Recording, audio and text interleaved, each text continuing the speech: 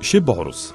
هو تعبير يستخدم للمراسيم التي تقام لذكرى يوم وفاة العالم جلال الدين الرومي المشهور باسم مولانا.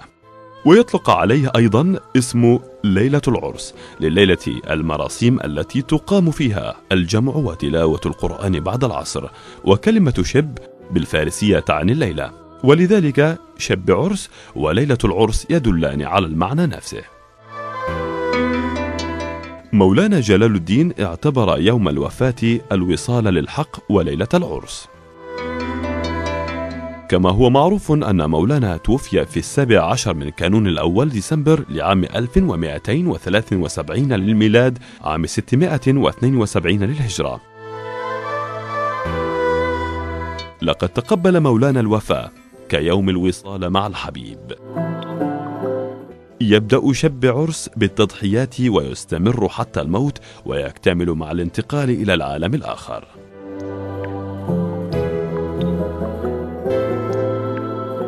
يقول مولانا لا تبحث عن قبرنا في الأرض بعد وفاتنا بل هو في أفئدة الناس العارفين.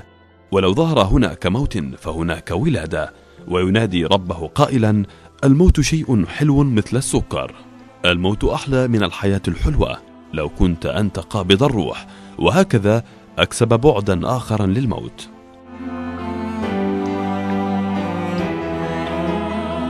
في الواقع هناك موتان. الأول الموت المعنوي. بقتل النفس. الأنانية. أي الفناء في الله. بموجب أمر رسول الله صلى الله عليه وسلم موتوا قبل أن تموتوا. ويمكن أن نسمي هذا الموت بالوصلة الأولى.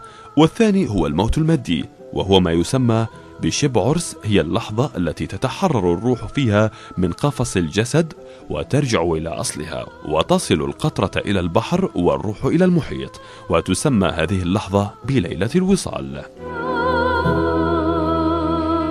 يقول مولانا الكل تحدث عن الفراق وأما أنا فأتحدث عن الوصال. يمكن شرح مفهوم الموت والوصال له تحت نور آية كريمة من القرآن الكريم. كل نفس ذائقة الموت ثم إلينا ترجعون.